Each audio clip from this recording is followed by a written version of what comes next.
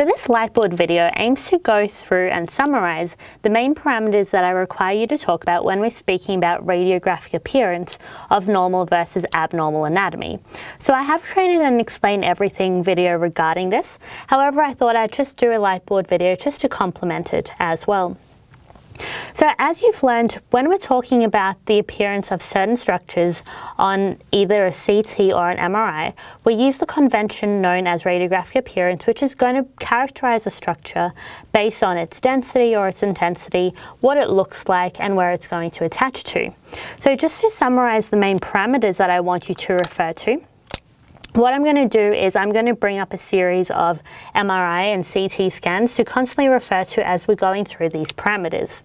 So the first component of radiographic appearance is going to be the density or the intensity. Okay, so the density or the intensity is obviously going to be more specific depending on whether we're talking about CT or MRI. So what I've done is I've brought up a CT scan on the left. Um, and this is going to be a CT scan then of a fracture through um, the ankle region or the foot. So when we're talking about density of CT and MRI, we use terms such as semi-radio opaque, radio opaque, and then radiolucent. So remember that when we're talking about the density of a structure, it is usually going to be correlated to the attenuation. So this is going to be the capacity of a structure to absorb the X-rays. Whereas when we're talking about intensity, intensity is only going to be specified for MRI because we're looking at the concentration or the amount of hydrogen protons in a structure, which is essentially correlated to the water content of a structure. So this is really useful for soft tissue interpretations. So the intensity, so if I write up here that is going to be MRI specific. So terms then such as a void structure, high signal intensity, and intermediate are terms that you should then become well versed in. So the second thing then that we're going to talk about is going to be the shape or the characteristics of a structure.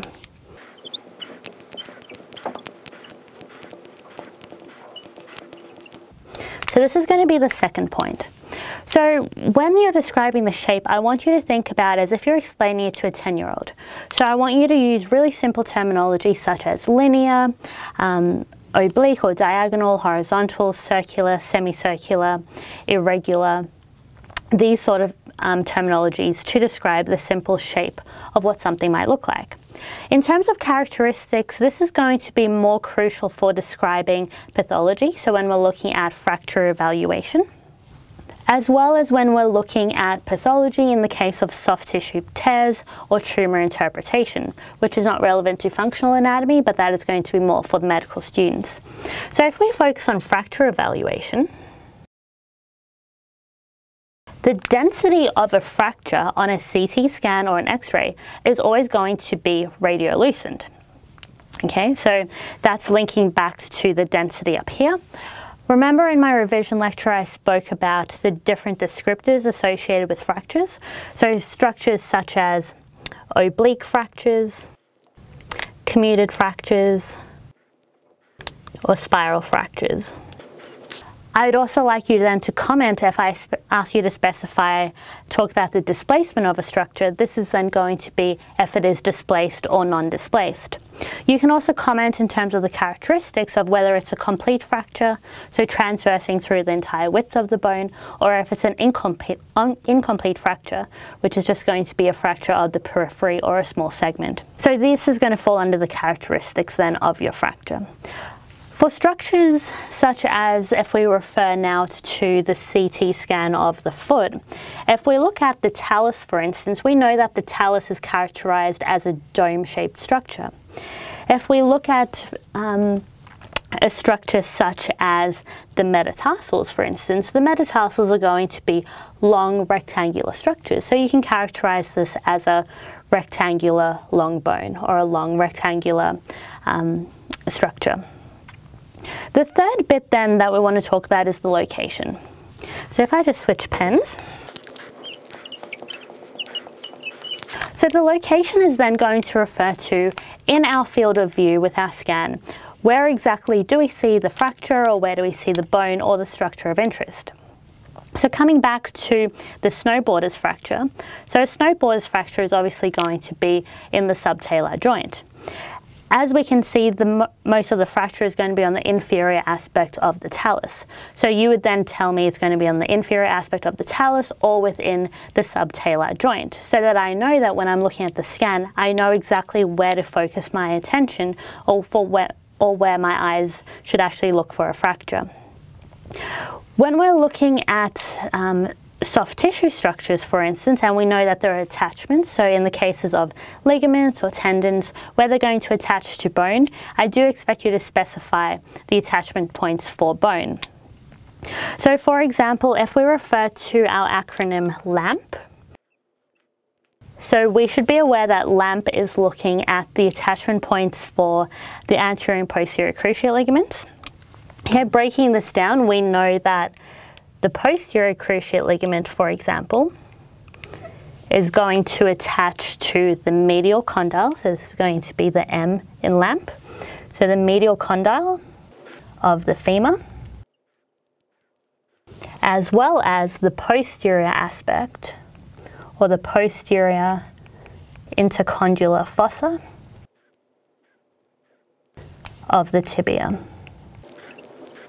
If I ask you to describe the location of the quadriceps femoris tendon, for example, you should tell me that this is going to be on the patella or the tibial tuberosity, for instance.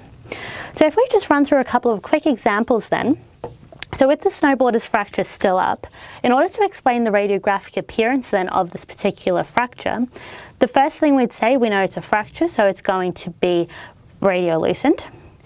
The type of fracture, we can see that as a comminuted fracture. So you'd say that it's a radiolucent comminuted fracture located then on the inferior aspect of the talus or located in the subtalar joint. If I then bring up a picture or a scan of an MRI of the knee, and I ask you to describe the radiographic appearance of the posterior cruciate ligament, I would expect you to acknowledge that regardless of whether it's a T1 or T2 weighted MRI, ligaments are always going to have a void signal intensity. So you should be able to recognize firstly that the ligament is going to be a void structure. The shape, you would say that it is a diagonal or um, an oblique band. You can comment on the thickness, so you can say that it's a relatively thick band that is going to, in terms of location, attach to the medial condyle of the femur as well as the posterior intercondylar fossa of the tibia. So I want you to think whenever I ask about radiographic appearance, you need to remember these three major components. If you only tell me two, so in terms of the density and the characteristics, that is only worth half a mark. To get full marks, you need to remember all three. Okay, thank you very much for your attention today.